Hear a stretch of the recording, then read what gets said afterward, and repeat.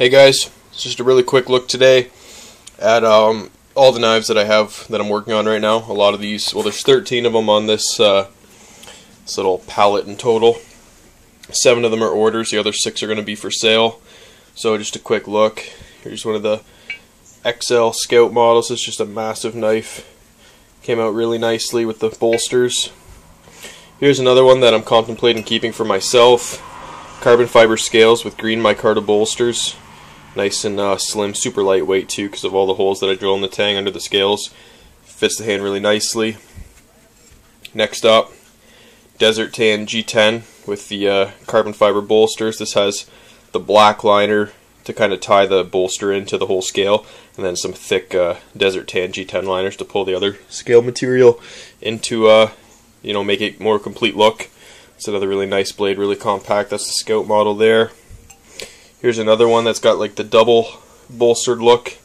Brown canvas micarta with black G10, of course sort of like a, a stripe in there, then carbon fiber bolsters. They all line up nicely.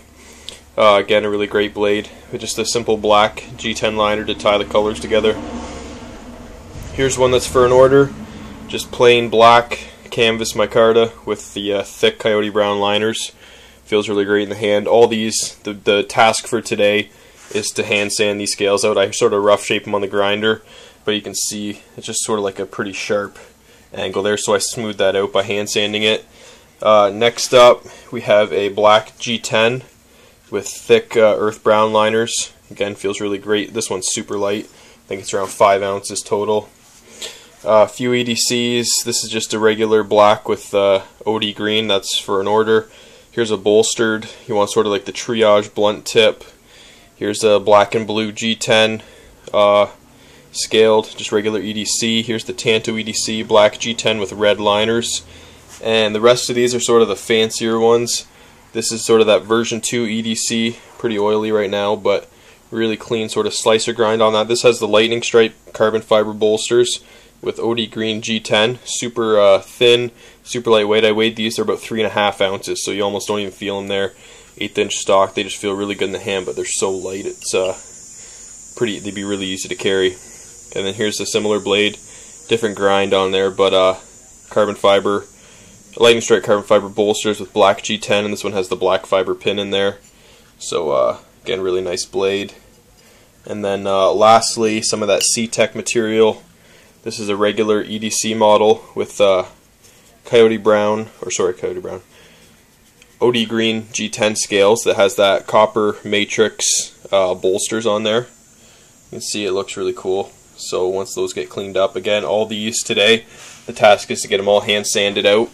And then uh, tomorrow, hopefully, start busting out some of the sheaths for the orders because I'm hoping to get them uh, shipped off over the weekend. So other than that, these uh, these ones will just be for sale. Uh, also, I heard from the heat treat yesterday. I'm going to go to to uh, the heat treater today to pick up the S35 blades, so I'll be able to get going on those. And hopefully by maybe the end of next week, I'll be all wrapped up with the blades. I'll be able to have one sort of final big sale. And I'm going to try to keep the prices pretty reasonable.